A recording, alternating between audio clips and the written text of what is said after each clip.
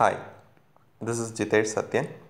WhatsApp number plus nine one nine six five six six one one eight two nine.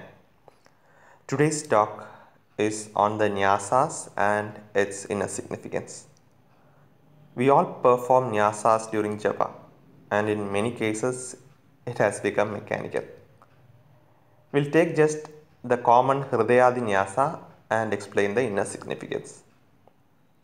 Hridayadi nyasa, as most of you might be aware, is where mantras are uh, ending with Hridayaya Nama, Shirase Swaha, Shikhaye and so on. And appropriate mudras are shown in, along with the mantras. Okay.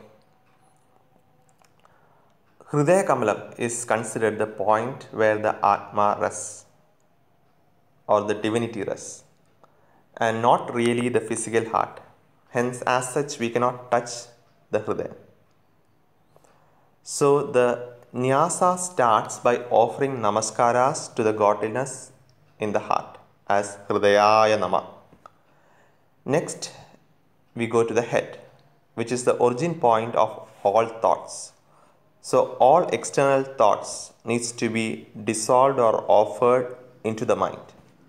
This is the Shiras, where thoughts are offered with the mantra Shirase Swaha. Next is Shikha. Shikha point, popularly called as Agni Shikha, is the Jyoti or Chaitanya region. With Shikhaye Vashat, the full body is made Jyotimaya for worshipping the Devata.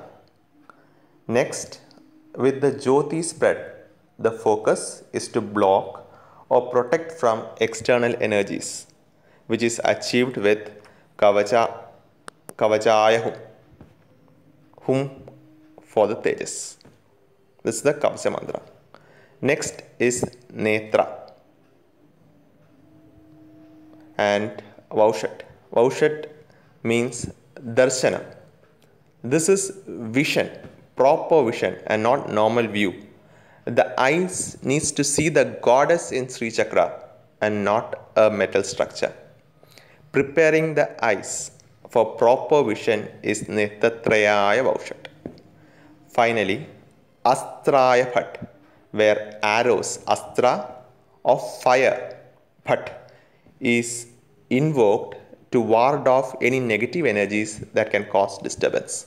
So the nyasa involves namaskara to inner divinity, dissolution of materialistic thoughts, spreading of jyoti, blocking with armor, getting the right vision, and driving off external disturbances.